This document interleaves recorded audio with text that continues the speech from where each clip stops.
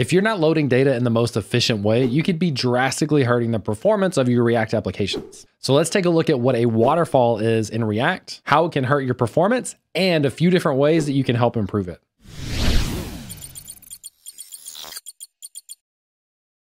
A lot has changed in React recently. The way we do things in React, and specifically, I'll talk a lot about Next.js and the capabilities that it enables on the server, has changed the way we build React applications and that impacts what best practices are for loading data into our apps. Now, I found this article called Fetch Waterfall in React from the Sentry team. It's actually from Lazar. I've linked to this article. I recommend reading through this entire thing. The demos and everything are great. I'm going to kind of go through this and we'll introduce what the waterfall effect is in React, a few different ways to fix this, and one specific tip that's not React specific, but you should be doing with JavaScript regardless, not just in React. So let's first introduce the idea of the waterfall. Now, he does a pretty good job here of giving you some graphics to explain what this is. So he's kind of showing from the Sentry dashboard, Sentry's for error tracking, alerting, etc. I'm working with them as a partner and really enjoying it. But this graph through Sentry is showing that there is a request being made to a Pokemon endpoint. That happens first. And then next, after that has finished, there is a separate request to the encounters endpoint. And then after that, there is a request to a location area based on the uh, area that the Pokemon has been found. And the problem with this is that they're happening one after another. So you make one request, you wait for that to finish completely. Then you make the second, you wait for that to finish completely. And then you go to the third and you wait for that to finish, although that's the last thing. So maybe you already have an idea of something that you can improve here. Take a second before you watch the rest of the video and let me know in the comments what you think.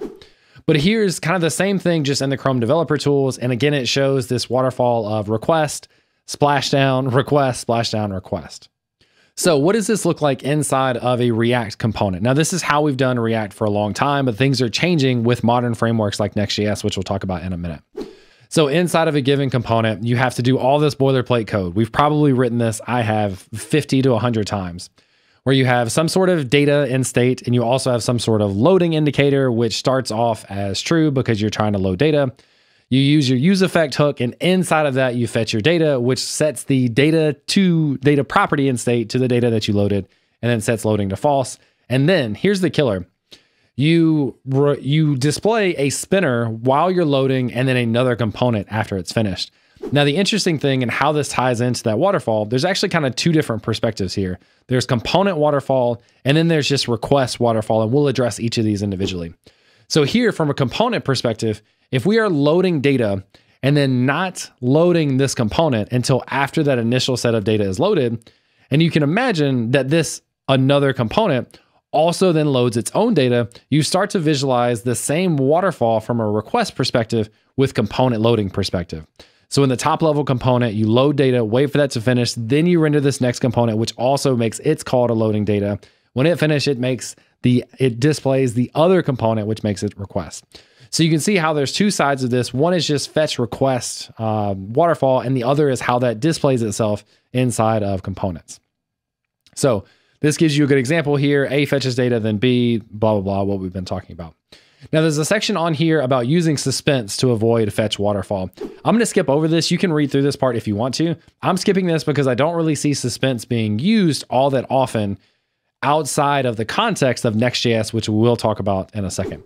So I'm going to skip this. I'm actually going to go a little bit out of order and I'm going to move down to the bottom part. So let's talk about moving the fetching of this data to the server to avoid a waterfall.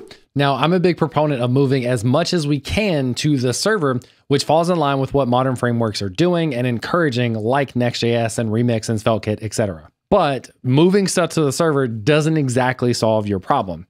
So let's say we take the same example and we load all this data on the server. So we make a call to load the Pokemon, then we wait for that to finish, then we call load for encounters, then we go through each encounter and load the location for each one of those.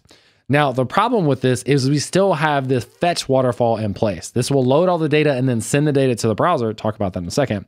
But we still have a waterfall of how that data is loaded. And we can see this inside of this example on Sentry as well, where it also tracks not only the fetch request from the front end, but also full stack through the back end as well. And in here, it kind of shows you that same idea where the time to first byte is now delayed. Why is that? Well, time to first byte is the time it takes from the request going to the server, from the server back to the browser, and the first byte being received. Since the server is loading all of this data on the server before it's responding, it has to finish that whole thing before it sends that first byte back. So why is this bad the way it's set up here? Well, you still have that waterfall just happening on the server. You just move the waterfall from the front end to the back end.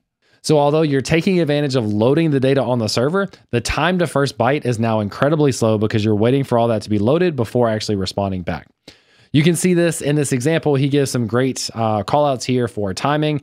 On the client side, your time to first byte is 62 milliseconds. On the server or doing the data fetching on the server, your time to first byte is 855 milliseconds, which is way too long. That's not what we want at all. There's a couple of ways around this though. The most important thing actually has nothing to do with React at all. It just has to do with how we process asynchronous requests in JavaScript. So if we look inside of here, we're using something called promise.all. I actually did a video explaining promise.all. If you want to check it out, you can.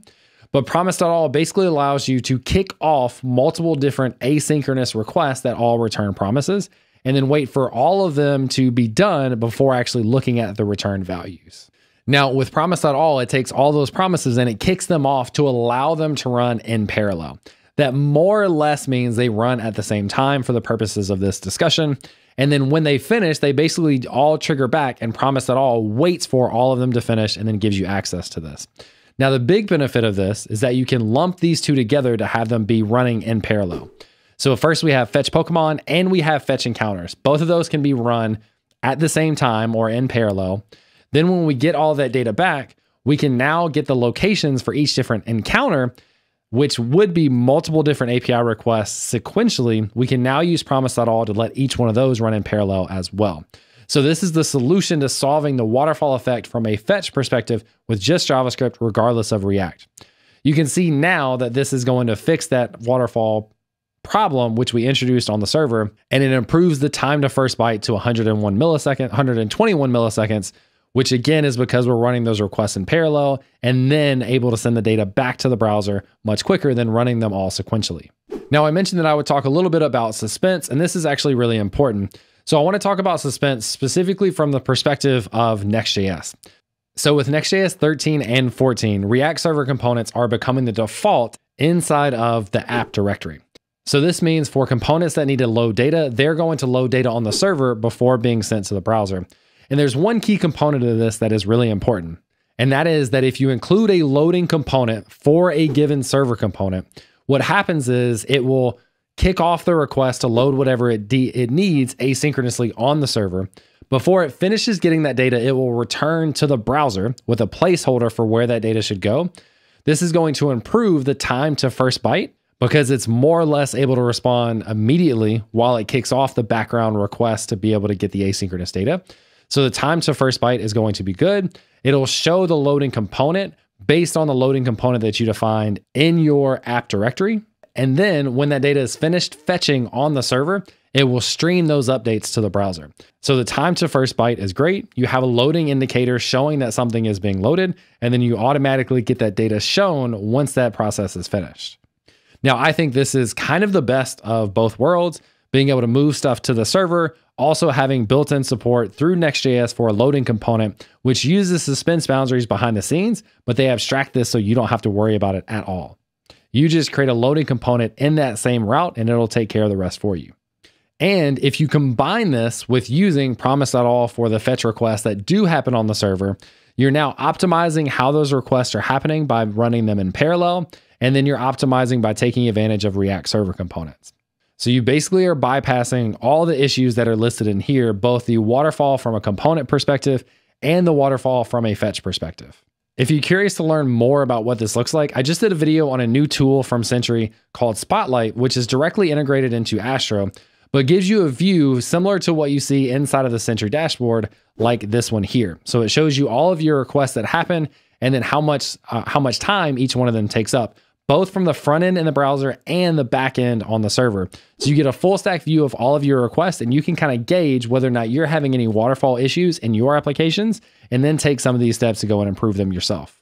So check out that video to learn more about Spotlight. Hope you enjoyed this video and I'll catch you next time.